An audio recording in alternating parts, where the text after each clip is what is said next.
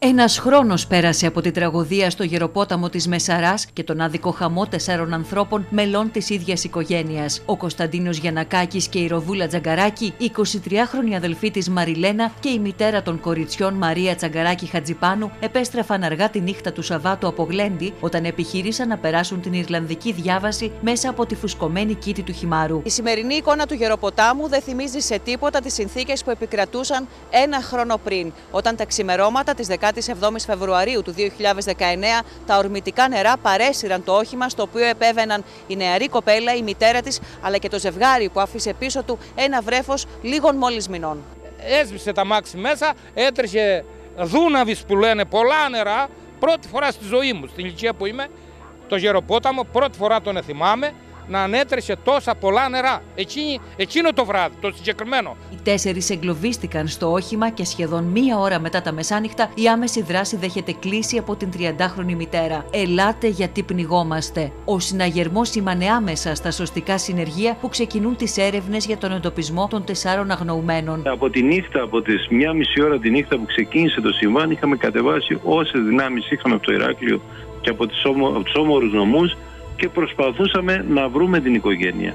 Ξέραμε ότι τα, τα δεδομένα δεν ήταν υπέρ της οικογένειας, διότι δυστυχώς τα νερά ήταν ορμητικά, το σημείο ήταν εξαιρετικά δύσκολο. Η συνομιλία που είχαμε διέρχησε περίπου ένα, δύο, τρία λεπτά Οπότε οι πιθανότητες να τους βρούμε ζωντανούς στο πρώτο μισάωρο, αυτό μας συγκλώνησε και μας πίεσε πάρα πολύ. Οι ώρες περνούν βασανιστικά για τον πατέρα του Κωνσταντίνου και τους συγγενείς που με τα μάτια καρφωμένα στην κήτη του ποταμού παρακολουθούν με απόγνωση τις προσπάθειες των διτών της ΕΜΑΚ και των τόπιων που έσπευσαν να βοηθήσουν. Όλοι και ο Τζακαράκη εδώ πιο πάνω έφερε τον Εσκαφέα, του άνθρωπος, ε, αφιλοκερδό και είχαμε όλη αγωνία προσπάθειες ε, απεγνωσμένες από πολίτες, από κατοίκους της περιοχής από δικές μας δυνάμεις, από εθελοντές, ούτως ώστε να μπορέσουμε τις πρώτες ώρες, το πρώτα λεπτά της ώρας, να, στην προσπάθειά μας να τους βρούμε ζωντανούς. Μπορεί κανείς από τους δημότες να μην έφταιγε, αλλά όλοι θεωρούσαμε συνυπεύθυνους τους εαυτούς μας για αυτό που είχε συμβεί στην περιοχή μας. Ο τραγικός επίλογος γράφτηκε το απόγευμα της Δευτέρας, όταν το όχημα εντοπίστηκε αρκετά μέτρα παρακάτω, θαμένο κάτω από λάσπες και καλάμια. Μετά από έρευνες δύο ημερών, ο εφιάλτης έγινε πραγματικότητα, όταν οι διασώστες ανέσυραν από τα παγωμένα νερά τα άψυχα σώματα των τεσσάρων ανθρώπων. Η πρώτη στιγμή που εντοπίσαμε το αυτοκίνητο στις λάσπες του ποταμού στο Γεροπόταμο όταν ε, επιχειρήσαμε και φτάσαμε μέσα στο αυτοκίνητο και ήταν και τα τέσσερα άτομα τα οποία δεν υπήρξε ζωή. Η ελπίδα πεθαίνει τελευταία. Μέχρι τελευταία στιγμή προσπαθούσαμε και πιστεύαμε μήπως βρούμε κάποιον ζωντανό τουλάχιστον. Το πένθο βαρύ στις Αρχάνες, όπου κυδεύτηκαν μάνα και κόρη, και έπειτα στον Κρούστα για το τελευταίο αντίο στο νεαρό ζευγάρι. Σε μια στιγμή χάθηκαν όλα. Χάθηκαν όλα από τη διασκέδαση στο μεγάλο πένθος.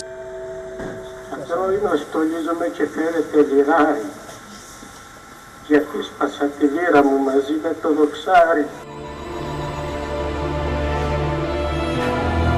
Η επόμενη μέρα βρήκε μουδιασμένη την Κρήτη και τις Μύρες, με την κοινωνία να ζητάει επιτακτικά την κατασκευή γεφυρών για να μην υπάρξουν άλλα θύματα. Τα μέτρα που έχουμε πάρει είναι ημίμετρα. Εκτός τα σήματα που έχουμε βάλει, τοποθετούμε ταμπέλες με αλυσίδες και κλείνουμε το δρόμο ώστε να απαγορεύσουμε εντελώς την κυκλοφορία. Έχουμε καταθέσει μια ολοκληρωμένη πρόταση στο Υπουργείο Υποδομών και Συγκοινωνιών στον κύριο Καραμαλή.